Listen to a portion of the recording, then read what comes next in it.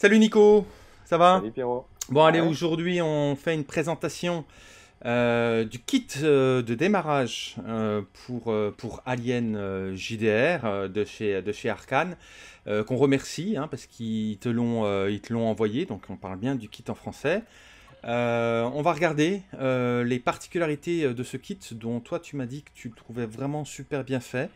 Euh, pendant longtemps, moi j'ai parlé euh, de kit d'initiation, mais toi tu me parles de kit euh, de démarrage. Pour toi, il y a une différence, tu nous expliqueras laquelle. bien entendu, on va explorer assez succinctement le contenu de la boîte parce qu'il y a beaucoup de pages qui ont déjà, on va dire, dépunché le, le, coffret. Mais on va profiter à la fois de ton expérience de l'univers d'Alien et puis ton expérience de rôliste pour explorer euh, le mécanisme euh, de jeu qui, est utilisé, hein, qui est le Year Zero Engine, si mon anglais est bon, qui est un mécanisme qui est pas mal usité en fait sur toute la gamme qu'Arkane va proposer, notamment Tell from the Loop, mais on y reviendra aussi.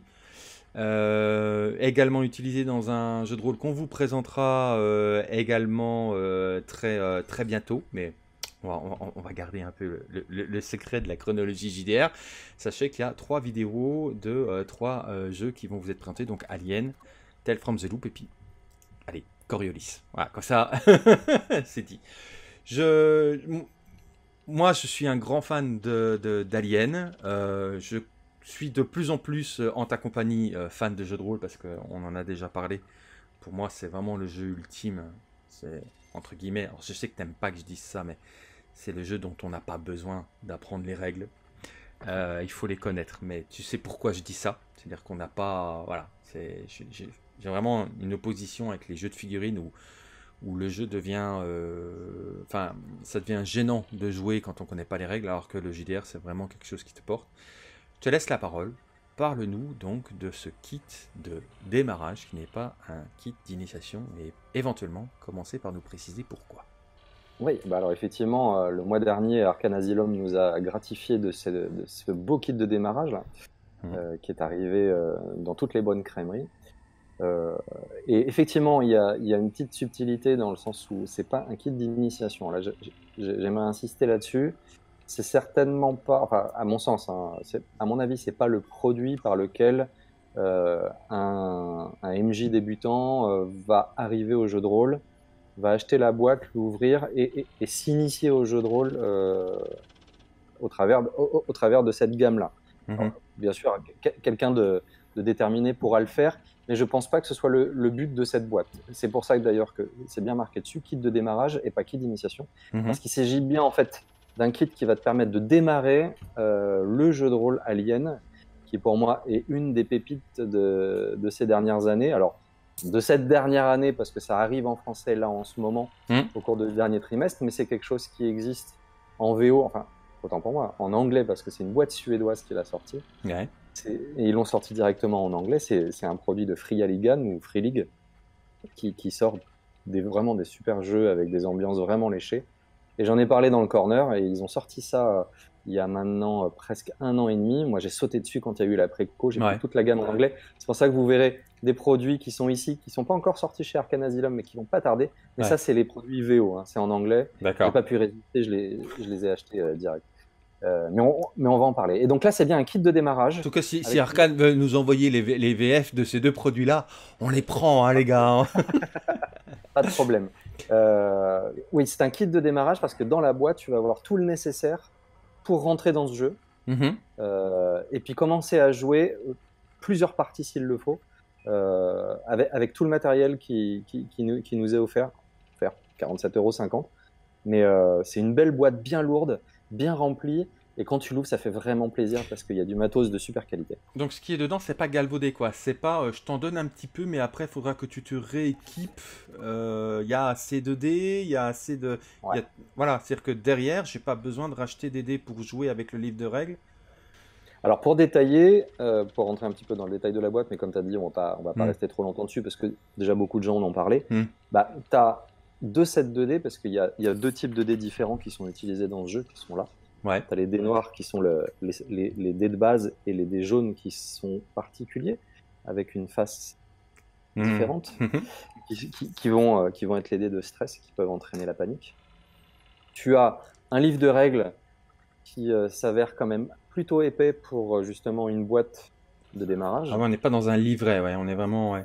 Ah, c'est ouais, marqué livret de règles, mais euh, il y a vraiment de quoi de jouer. Euh, quoi jouer, tu rentres vraiment dans le détail de beaucoup de règles. Alors il n'y a pas tout, puisque le livre de base ensuite va, va amener des nouveautés, mais je, vais en parler. Mm-hmm. Tu as un scénario qui est très bien fait, qui est euh, Le chariot des dieux, un scénario écrit par un, un, auteur de roman. Mm-hmm. Donc tu as deux sets, as deux sets de dés, de 10 dés chacun. Tu as des feuilles de personnages préimprimées. Ouais. voilà. Euh, c'est ça, on y reviendra quand on expliquera les mécanismes, mais ça m'a foutu un peu la trouille euh, la fiche de perso. Elle est. Hein elle t'impressionne? Ouais. Ouais, mais je t'expliquerai. Hmm tu as euh, une superbe carte. Alors, je vais pas la déplier là parce qu'elle parce qu'elle est énorme, avec un papier super épais. Une carte qui, d'un côté, te montre une carte de la galaxie connue mhm. et, conquise par, et conquise par l'humanité, et de l'autre côté, tu as des plans de vaisseaux ouais. qui, vont, qui vont servir pour les scénarios. Et enfin, petite particularité qui nous fait plaisir, une petite planche de token là, ah, oui. avec, des, avec des symboles qu'on peut un peu connaître dans l'univers euh, dans l'univers d'Aliens. C'est le capteur euh, de mouvement, hein, c'est ça? C'est les blips, c'est les mm. blips, et puis après tu as des choses qui peuvent euh, servir. Alors voilà, pas trop en dévoiler, mais bon, bref. Donc franchement, quand tu ouvres la boîte, déjà quand tu prends la boîte, elle est lourde, tu l'ouvres, tu c'est Noël. C'est Noël D'accord, ok. T'as un, matos, un matos de qualité et à profusion. L'éditeur, c'est, tu en as parlé un petit peu, c'est des, des gens connus dans le milieu, ils ont, ils ont une vraie expérience, euh, ils ont un, vrai savoir-faire, ils ont, ils, ont, ils ont une particularité Alors, Fria Ligan, c'est une boîte suédoise ouais. Euh, qui a commencé le jeu de rôle il y a quelques temps. Euh, à l'origine, leur jeu de rôle phare, c'est Coriolis.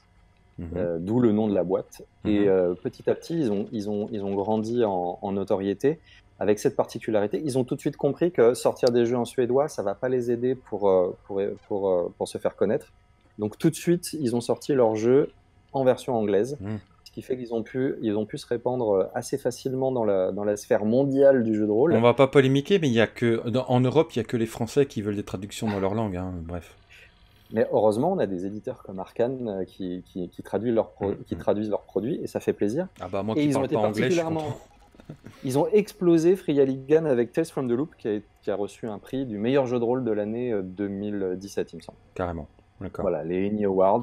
Et Alien a eu, euh, il y a trois mois, a été couvert de, de récompenses aussi en termes de jeu de rôle. Donc maintenant, Free Ligan s'est imposé comme un éditeur de qualité sur la scène. ça c'est clair. Pourquoi Donc ils nous sortent des super jeux. Pourquoi bah Parce qu'ils sortent des beaux jeux d'ambiance qui, euh, qui dénotent un petit peu. Ils ont cette particularité d'amener euh, d'amener euh, une petite touche suédoise peut-être, hein, c'est mhm. peut-être ça, la, mhm. Swedish Touch. Mhm. ils, apportent quelque chose de nouveau. Et c'est vrai qu'Alien bah, a besoin d'un jeu d'ambiance. Hmm. Ah, là, on est à fond dans un jeu d'ambiance. Et puis c'est une franchise qui avait... Alors, ça a existé de par le passé. Il y a, à la suite de Aliens le retour, le, 2, il y a une boîte qui s'appelait Leading, Leading, Edge qui avait sorti un, micro jeu de rôle mhm. qui, était passé, euh, bon, qui s'était vu parce que c'est vrai que euh, la franchise Alien fait plaisir. Mhm. Mais bon, c'était un jeu où tu reproduisais, reproduisais le scénario de, du deuxième film. tu jouais des c'était limite un jeu de plateau où euh, tu jouais une équipe de Marines qui allait, qui allait fraguer du, de l'Alien à tout va. C'était vite limité.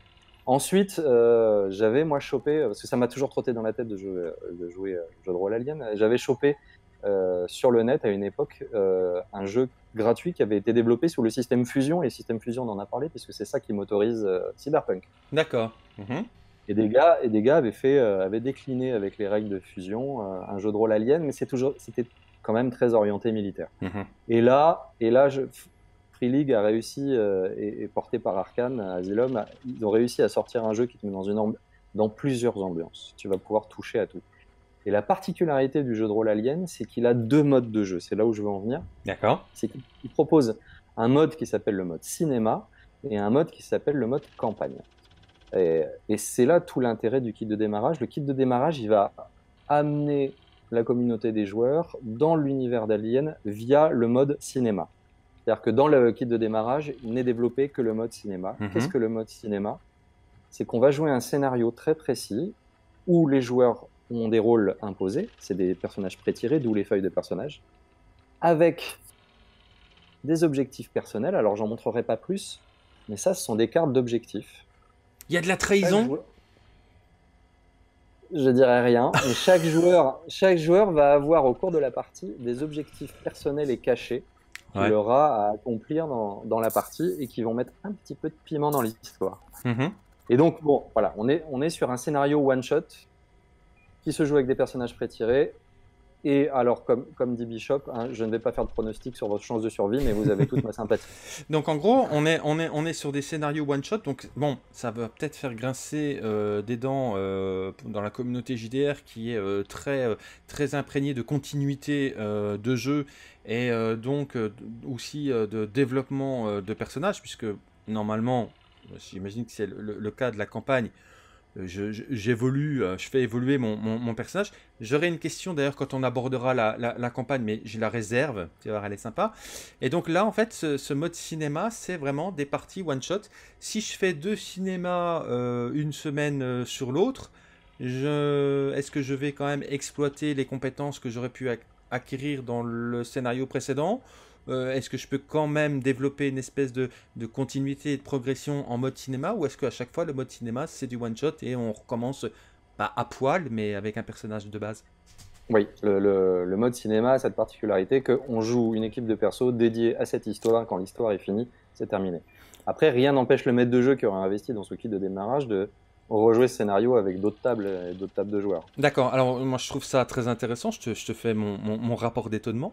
Euh, je trouve ça très intéressant parce que euh, ce qui m'embête un, petit peu, c'est que dans Alien, on, on, devrait mourir quand même, il devrait y avoir pas mal de, de, de, claquage, quoi. Et euh, si on s'inscrit dans une campagne, ce sera ma question quand tu développeras la partie campagne, comment on gère la mort des joueurs est-ce que parce que si à aucun moment euh, je n'ai sur moi cette épée de Damoclès qui dit que je peux claquer, euh, est-ce que je vais vraiment me lancer dans l'aventure euh, Est-ce que je vais vraiment stresser, tu vois? Dans un rôle, on, meurt difficilement quand même, quoi qu'il en soit.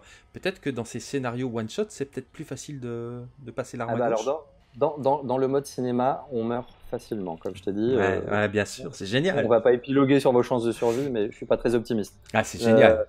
Mais, mais, mais, le danger ne vient pas forcément de là où on l'imagine. Parce que c'est vrai que le, le, le, truc qu'on se dit avec Alien, c'est c'est bon, on connaît la recette, euh, il va y avoir un xénomorphe et on va se faire bouffer. Et ben, ils sont très forts parce qu'ils arrivent à nous surprendre dans les scénarios avec euh, des petites pirouettes scénaristiques qui pourraient nous faire enfin, qui, qui, pourraient vous surprendre. Alors, je veux pas spoiler, mais euh, voilà. Ça faisait, partie, ça faisait partie de mes questions. La redondance des scénarios d'une campagne, euh, non, c'est vraiment prévu, c'est bien pensé de ce côté-là aussi. Ouais, c'est vraiment bien pensé. D'ailleurs, ils ont aussi annoncé, alors je ne l'ai pas encore parce que là, j'attendrai la VF. Ils ont déjà sorti, euh, Free League vient de sortir un nouveau, une nouvelle boîte qui s'appelle Le Destructeur des Mondes, avec un nouveau scénario cinéma. Mhm. Donc là, c'est pareil, tu as, as, tout un scénario écrit, tu as les cartes d'objectifs pour chaque personnage, des nouveaux personnages, un long scénario parce qu'il va t'occuper quand même. Un scénario en général est découpé en trois actes, et je peux t'assurer que ça peut t'occuper sur 3, 4, 5 séances peut-être. Mhm. Sinon, tu fais 2 heures, 3 heures, 5 heures. Mhm. Et puis à chaque fois, ils te mettent le petit paquet de, cartes avec l'équipement disponible dans, le scénario. Euh, tu as euh, les cartes avec les PNJ qui vont interagir. Ah, et, si par malheur, et si par malheur, tu as un personnage qui, décède bizarrement au cours du scénario, il y a suffisamment de, de persos présents dans l'histoire pour qu'un joueur très mort puisse récupérer un autre rôle et continuer la partie. Euh, ah ouais, c'est génial. Mais ça a l'air d'être vraiment du JDR 2.0 euh, là, parce qu'il y a énormément de, de, de, soutien euh, visuel. Je vois qu'il y a des cartes, je vois qu'il y a des, il y a des espèces de péripéties. On, est quand même sur un, sur un niveau supérieur du JDR. Normalement, JDR, c'est une feuille de papier euh, ma et mon couteau et puis je me débrouille quoi. Alors que là on a beaucoup beaucoup de soutien j'ai l'impression. Donc le soutien visuel on avait l'habitude avec FFG, avec ses maps, euh, ses décors de cantina et tout ça. Mais là il y a quand même des cartes comme des cartes d'événements en fait. Il y a du matos qui fait que bah, le, pont que beaucoup voudraient qui, entre, ouais, le, jeu de rôle et le jeu de plateau mhm. euh, est de plus en plus présent. C'est-à-dire qu'effectivement, là, on va pouvoir en plus manipuler pas mal de matos autour de la table. Tu vois, par exemple, on va avoir des cartes d'initiative Mhm. qui vont être tirés euh, par les joueurs et que chacun va poser sa carte d'initiative devant soi, comme ça il sera. Ou, même se l'échanger entre joueurs et sur la carte est décrit euh, le type d'action que tu peux faire, etc. Donc là où il y a un vrai matos qui vient en soutien de qualité, qui vient en soutien du jeu et qui apporte bah, ce petit côté jeu de plateau. C'est pareil, tu vas pouvoir mettre des blips sur la carte et puis les joueurs vont visualiser ce qui se mhm. passe. Non, c'est chouette. enfin, j'ai très envie de faut la faire jouer. j'ai deux questions et comme ça après je te laisse la parole pour développer. La, première c'est euh, à quelle période on se situe, mais je crois que tu avais déjà répondu dans, dans, le corner, mais on va, on va, on va le, le, repréciser ici parce que peut-être des gens qui n'ont pas vu le corner. Donc dans quelle période on se situe? Est-ce qu'on se situe plus sur euh, le Alien 8 passager, sur le Aliens euh, ou alors sur euh, ben, euh, la suite qui a été tant décriée, c'est-à-dire ceux de, ceux de Prometheus, mais, mais je n'imagine pas que ce soit le cas. et, puis, et puis après, quand on aura répondu à cette question, ben, je te propose de nous exposer les mécanismes de jeu et notamment ces, ces, petits pions de, de, blips qui commencent à m'intriguer pas mal. Alors, bah, la Fox a donné la licence à, à Free League et ils viennent, grâce à ça, on canonise un petit peu l'univers d'Aliens. Donc on sait où on est. Euh, dans, dans, le, dans le livre de Rel, comme dans le livre de base, tu as toute une description de l'univers très précise. Alors, il faut savoir que les trois premiers films sont canons. Alien, le huitième passager, Aliens et Alien 3 dans la prison, tout ça, ça a existé. On joue après Alien 3. Mhm. D'accord. Donc, ce qui s'est passé. Euh, alors, on joue là avec ce qu'on vient de nous sortir. Rien n'empêche à l'avenir que des scénarios hmm. sortent en se hmm. positionnant sur une temporalité différente. Hmm. Euh, alors, au, grand dam de, certains, euh, Prometheus et, euh, et, sa suite, ça y est, je l'ai au bout de la langue, mais bon, bref, les deux autres films sont canonisés, donc ce qui s'est passé dans ces films-là, qui sont dans le passé, a existé. les ingénieurs sont intégrés dans, dans le corpus. Et donc, voilà, tout ça, ça existe. Moi, je suis un très mauvais élève. Hein. Euh, bien entendu, euh, pour moi, le Alien 8 passager est sur un piédestal. Euh, je pense que il doit être indiscutable. c'est indiscutable, mais il est dans les, dans les trois films que j'emmène sur une île déserte. autant moi, le Aliens avec un S, je, le, je, le déteste. Je trouve ça. Ah ouais, j'ai énormément de mal. Et donc, du coup, bah, je vais me faire encore une fois de plus jeter des pierres. Bah, je suis désolé, mais Prometheus, j'ai pas détesté du tout parce que j'ai trouvé euh, alors euh, la prestation de Fassbinder absolument merveilleuse et, euh, celle de, la gonzesse dont j'ai oublié Sharon, Charlie Theron impeccable aussi. Donc voilà je suis désolé mais Prometheus j'ai beaucoup aimé. Je sais que si Kevin était là je me ferais arracher la tête. Dire, tu t'arrangerais avec Kevin directement. Mais, mais voilà moi donc moi du coup ça me choque pas. Et puis je, je me dis justement pour cette histoire de redondance de scénario que euh, Prometheus me paraît plus ouvert à la diversité scénaristique que euh, les, aliens premiers du Ouais, très concrètement, ça, enrichit l'univers. Alors après, mm. on peut discuter de la qualité des films, mais ici, c'est pas le propos. Voilà. C'est-à-dire qu'ils ont quand même pris, euh, ils ont quand même pris les éléments l'or, comme on dit maintenant, mm-hmm. de, ces films-là pour l'intégrer dans, l'univers canon, et ce qui peut être utilisé dans, dans mm parties. Les mécas, tu nous en parles un petit coup? Ouais, alors le un grand coup même. comme on dit. le Year Zero Engine, c'est un système simple mais pas simpliste, euh, ah. à base de D6. Ouais. Euh, en fait, je vais vous expliquer ça très rapidement. On a des attributs, des compétences chiffrées de 1 à 5. Euh, et quand on veut faire une, une action, bah, on va additionner l'attribut lié à la compétence qu'on veut utiliser. On va obtenir un chiffre entre bah, 1 et 10, par mhm. exemple, imaginons. Et c'est le nombre de D6 qu'on va lancer. D'accord de D6, de D6 noirs, les D6 de base. Mhm. D'accord? Mhm. On prend cette poignée de dés, on les lance, et il suffit d'un 6 pour avoir réussi son action. D'accord, donc c'est les mêmes mécanismes que Coriolis également. Exactement, c'est hmm. les Year Zero Engine. D'accord. Tu, fais un, tu fais un ou deux 6, c'est une réussite euh, normale. Après, plus tu vas avoir de 6, plus tu vas, euh, tu vas euh, briller dans, dans, la réussite de ton hmm. action. Il y a une table de, statistiques dans le, dans le livret règles qui t'explique le nombre de chances que tu as de faire des 6 d'ailleurs selon le nombre de dés. je suis mal. toi, tu es très très mal. Euh, si tu fais pas de 6 en jetant tes dés, tu as le droit de forcer le jet. C'est-à-dire que mhm. tu vas reprendre tous les dés, ou même si tu as fait des 6, mais tu as le droit pour essayer d'améliorer ton résultat, tu vas dire je force le jet, tu vas reprendre tous les dés qui ne sont pas des 6 et tu vas les relancer. Mais en faisant ça, tu stresses ton personnage. Ah. Et tu vas gagner des points de stress dans le jeu. Et plus tu vas gagner des points de stress, plus tu vas ajouter des dés jaunes dans ta poignée. ok.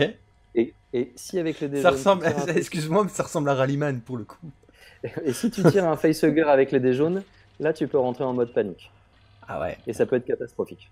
D'accord. Donc, c'est ça qui est génial dans ce système. Alors, bon, le système Year Zero, on le connaît, donc c'est voilà, c'est un attribut, une compétence, t'additionnes, ça te donne un, nombre de D6 à lancer. Les 6 créent des réussites. Ouais. Et là, ils ont rajouté le dé de stress qui va, en plus, si, alors, en forçant le dé, euh, en ayant euh, des bruits bizarres dans les couloirs, mmh. euh, en, tirant en rafale comme un malade dans une coursive, etc., tu vas rajouter du stress. Et là, on va coller vraiment dans l'ambiance alien ah où le stress autour de la table va mécaniquement monter et les catastrophes vont arriver.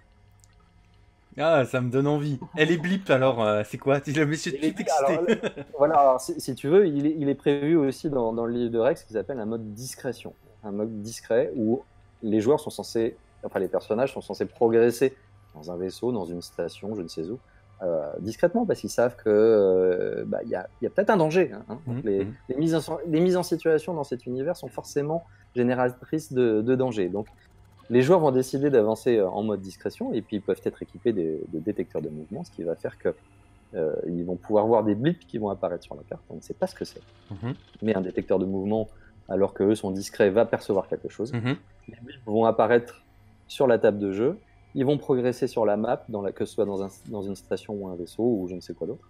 Et puis, et puis bah, à partir du moment où on va arriver dans la même zone, eh ben, les billes vont se retourner. On va se retrouver dans Space Hulk ou Nemesis. Hein.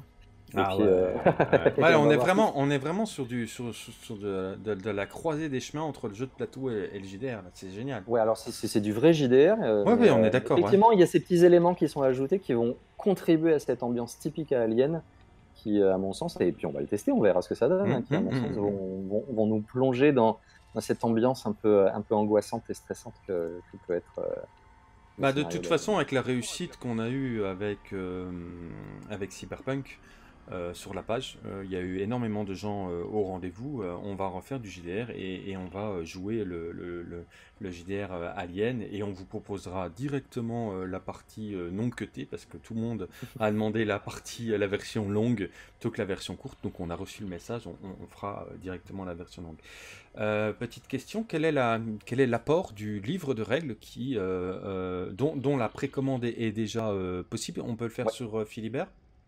Alors, euh, j'ai pas vérifié sur Philibert, mais on peut le faire directement sur la boutique d'Arcan Asylum. Mhm. D'accord. Euh, et, en ce, et, en ce, moment, euh, il faut encourager, encourager mhm, mhm, les, achats directs, que ce soit dans les boutiques, chez les éditeurs. Voilà, donc faisons-le. Ils ont, ils ont annoncé ça il y a quelques jours, donc c'est disponible. Le livre de règles, l'écran qui est derrière moi, qui est juste sublime. D'autres packs 2D supplémentaires vont, être mis à disposition. Non, c'est les mêmes, c'est les mêmes. Ok. C'est les mêmes dés. C'est les mêmes dés. C'est pour ça que si tu as le kit de démarrage, tu as déjà euh, deux, euh, sets de dés complets. Hein.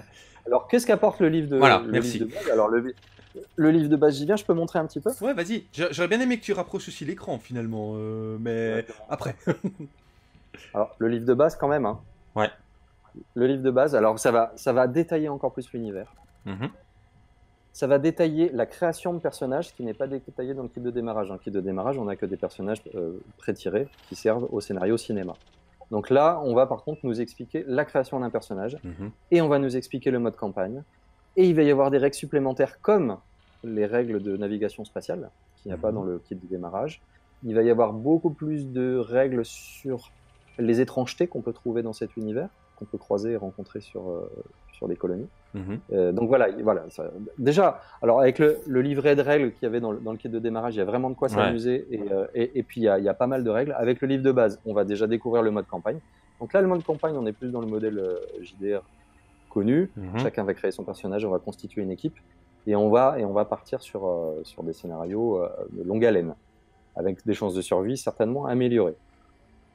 Moi, quand j'ai lu ça, tu vois, j'ai pensé, je me suis dit bon, ok, je vais pas leur mettre un xénomorphe à, à chaque scénario. Et j'ai essayé de puiser dans, dans, mon, dans mon, mon, imagination sur les, possibilités. Et j'ai pensé à un film qui, je ne sais pas si tu t'en rappelles, puisque en ce moment on, est en deuil de Sean Connery. Il y a un film qui s'appelait Outland. Oui. D'ailleurs, j'ai hésité, j'ai hésité quand j'ai mis le, la photo, euh, la photo hommage sur, euh, sur le groupe, ça me plaît, parce que je pense que Enfin, moi, Outland fait partie des, des, des, films que j'ai préférés de eh ben. Sean Connery. Cette, euh, cette attente où on, il y a une troupe qui est envoyée pour le tuer. Ouais. C'est, enfin, dans une station spatiale. Dans une station euh, spatiale, c'est, Avec euh, des convoyeurs de l'espace, c'est merveilleux. Des mineurs, Eh ben, on est typiquement là dans une ambiance qui peut être tout à fait utilisée dans Alien, puisqu'on peut créer des marshals, on peut créer euh, des, camionneurs de l'espace, on peut créer des mineurs dans des colonies. Imaginez la Wayland Yutani décider de venir récupérer des. Ah ouais. Donc tu fais, tu, fais un, tu fais une équipe centrée sur un personnage qui, qui, qui, sera un marshal, il se passe quelque chose dans une colonie, les joueurs savent pas ce qui va leur tomber dessus, et puis tu peux mm, mm. jouer sur ça. Et ça, ça peut s'inscrire dans, dans, mode campagne complètement. Donc je pense qu'on n'est pas fermé dans l'univers d'Alien sur... Euh, ah, on n'est pas coincé sur le xénomorphe, quoi, en fait. Hmm. Ah, moi, non, pas du tout. Il y a, avec le livre de base, on a un univers qui est vraiment développé puisque au-delà des films, il y a eu, euh, il y a eu des BD, il y a eu, il y a eu des romans, des romans audio, on en a parlé. Hmm. Euh, il, il, commence à y avoir de la matière derrière et il y a, il y a de quoi s'amuser, franchement. Alors c'est peut-être pas un... Vous croiserez pas de Predator, hein, je vous le dis tout de suite. Non, hein. ça va quand non. non, non, non, non, merci, non. Après, c'est euh, à ta table de jeu de, de, de, voir dans quel, à quel rythme ils veulent jouer à Alien. Mhm, mhm. il y a moyen de s'amuser un petit moment. D'accord. Le hum, ça se. Pour toi, c'est orienté pour quel type de joueur? Euh, Voilà. À, qui tu conseilles euh, Alien? Ne me dis pas tout le monde. Mais je sais que tu ne me diras pas tout le monde. À qui tu conseilles euh, de se lancer ah, dans ce. Ouais, là, je pense qu'une table un peu émérite, c'est pas mal parce que, comme beaucoup de jeux d'ambiance, même si tu peux avoir autour de la table un ou deux joueurs débutants qui vont peut-être se laisser porter en fait par, par la dynamique générale. Mais c'est vrai que si tu as c'est des, des, des, ambiances fortes. Si tu as des joueurs impliqués avec une connaissance de l'univers minimum et une sensibilité, c'est-à-dire qu'ils aiment ça. Quoi. Ils aiment ils aiment l'horreur, ils aiment l'horreur spatiale, mmh, ils aiment mmh, la, mmh, science-fiction, c'est quand même un plus. Si tu as un MJ qui a bien potassé son truc et qui sait mettre une ambiance, c'est quand même un plus. Donc là, là, on est plus sur. Alors, on n'est pas sur. Faut des gens qui prennent la... faut des gens qui prennent la chose au sérieux quand même, du coup. Oui, alors voilà, je, il faudrait pas que ça tourne à la déconnade pendant trois heures parce qu'on va passer à côté du sel, de, du, sel du jeu. C'est un mm. peu comme Cthulhu, c'est des, des, jeux d'ambiance basés sur l'horreur. Bon là c'est particulier parce que c'est de l'horreur spatiale. Euh, oui, il faut, il faut, quand même rentrer dans le truc et, et éviter de, de sortir euh, les blagues à papa euh, pendant toute la partie. En fait, tu peux, tu peux jouer à un personnage qui a de l'humour, hein, mais ça peut dédramatiser certaines situations. On a, on a, été, on a été un peu lourd sur Cyberpunk, euh, t'inquiète pas, on, ne le refera pas. il, faut, il, faut, il faut des joueurs consentants qui, qui savent vers où ils vont. Hein. D'ailleurs, dans le jeu de rôle, on parle de plus en plus de contrat moral entre le maître de jeu et les joueurs. Donc mm. là, il faut savoir où on va. C'est-à-dire qu'on va sur de l'horreur, on peut, on peut aller sur du gore, on peut aller sur des thèmes bien matures. Pour conclure, les points forts et les points faibles de cette proposition, à la fois du kit euh, de démarrage, mais euh, en voyant plus loin euh, les avantages et les inconvénients du jeu en général. Alors les points forts, c'est un, thème incroyable qui, fait l'unanimité, hein, l'univers d'Alien, mm. porté par, porté par un, choix d'édition exceptionnel. Franchement, vous avez un bouquin de qualité entre les pattes. Hein. C'est superbe, le produit est magnifique, c'est hyper inspirant et on a tout de suite envie d'y jouer et de se confronter à cette horreur spatiale. Mhm. Le point faible, c'est euh, est-ce que on peut pas vite se lasser du principe et, euh, et, se dire ouais bon ok on va tomber dans la, sauce habituelle. Les joueurs arrivent à la table en sachant ce qui va leur arriver. En gros ils, ils, sentent que ça va pas bien se passer. C'est pour ça qu'il faut des joueurs consentants. Mhm. Ça, ça a été gommé par certains artifices qui peuvent fonctionner. C'est pas un jeu qu'effectivement euh, je jouerai en campagne pendant un an et demi. Hmm. C'est un jeu que je vais sortir de temps en temps. On va se faire un, un ou deux scénars cinéma où on va bien flipper euh, notre race tous ensemble. Et puis si ça prend, là on peut partir sur un mode campagne. Mais euh, voilà. Après c'est voilà, entre guillemets de la rejouabilité. Je sais pas. là il va il va falloir falloir que l'équipe de l'équipe de la table soit. Faut que tout le monde soit consentant, ouais. On est d'accord. Ouais. Et jouer, euh, voilà. Après c'est le rythme, voilà. Tu c'est pas un jeu que tu vas sortir tous les jours. Nous approche, le week-end. Tu nous approches légèrement cet écran qui euh, qui est qui est le matin là. Ouais, ouais, ouais. J'imagine qu'il y avait un scénario à l'intérieur. Non, non, il n'y avait pas de scénario à l'intérieur parce qu'en fait, moi, enfin, j'avais fait la préco chez Free Aligan. Tu avais le livre de règles, deux sets 2D, euh, le scénario, oui, le scénario, le, le chariot des dieux, l'écran, etc. D'accord. Donc, euh, moi, je tease, hein, je suis désolé, Arkane, vous, allez bientôt le sortir. Mais voilà, tu, poses ça sur la table. Ouais. Ouais, ouais. bien sombre, ouais. Bien sombre, un xénomorphe sur fond étoilé. Euh, simple, simple, pur, euh, pas, pas surchargé, ça le fait, quoi. Alors, de l'autre côté, ben, voilà. Bon. Moi, je suis jamais. Je suis rarement de l'autre côté, donc ça va. Alors, petite, euh, petite anecdote, dans ce jeu, le meneur de jeu s'appelle pas maître de jeu ou meneur de jeu, on l'appelle maman. Bien sûr. génial. C'est génial. Le mot de la fin? Bah écoute, j'ai qu'une envie, c'est euh, qu'on y joue. Euh, hmm. Moi, ça me. Déjà, franchement, c'était mon, bonbon sucré quand il est sorti. Pour moi, c'est franchement une des pépites de jeu de rôle de l'année 2020. D'accord. Donc, c'est un jeu réussi, super ambiance. voilà, il faut, il faut, il faut qu'on y aille. C'est du Jefferson approved. Complet. Complet, avec le tampon. Eh bien, écoute, merci beaucoup pour cette euh, présentation. Tu as d'autres choses à, à, dire ou euh, non Ça me paraît. Sur Alien, je, sais pas, je, pense que j'ai tout dit. J'attends que, que Arkane nous traduise le destructeur des mondes. Je, je, saute plus dès qu'il sort. Et là, on va, on va s'amuser pendant quelques séances. Ça, c'est un message, hein, si jamais il, nous regarde euh, aujourd'hui. Euh, bien entendu, on fera, euh, on fera une partie que j'imagine sans aucun doute être une partie donc cinéma et non pas, et non pas campagne, hein, pour, pouvoir, voilà, pour pouvoir vraiment, comment dire, flinguer quelques personnages en route, vous montrer en tout cas l'avantage de cette, de cette version on fera un setup propre. Évidemment, on est en condition Covid, donc c'est vrai qu'on pourrait la faire par l'intermédiaire d'un écran splitté, mais je trouve ça dommage. non, pas ça. Ah non, pour ce jeu-là, pour un jeu d'ambiance, non, on le fera sur une table. D'accord. Donc euh, ça attendra, ça attendra 2021, euh, mais promis. Faut pas le gâcher. ouais, ouais, on va pas, on va pas gâcher, on va pas gâcher. Donc promis, on vous fera ça. Je vous dis 2021 parce que je vais pas vous dire décembre, on, est mal parti pour que ça se passe comme ça. Merci, merci, merci beaucoup euh, Nicolas pour cette présentation. En tout cas, à moi, tu m'as donné envie. Vous n'hésitez pas à nous mettre en commentaire ce que vous en avez euh, pensé euh, de ce jeu. N'hésitez pas également à euh, poster vos questions. Nicolas et moi-même, on, regardera comment, comment vit cette zone de commentaires et on répondra éventuellement aux questions que, vous avez. On va vous mettre des liens sous la vidéo pour que vous puissiez vous équiper. Et puis, euh, bah, n'oubliez pas de euh, partager la vidéo pour euh, qu'elle se diffuse un maximum. Mais on a cru comprendre que dans la communauté Alien, hein, il y avait un petit, il y, avait un petit pas mal de monde. Voilà. Merci beaucoup, Nico. À très bientôt. on vous souhaite des bons jeux et puis surtout des bons jets parce que là, ça va être important pour pas se perdre. Allez, à très bientôt. Ciao. Ciao.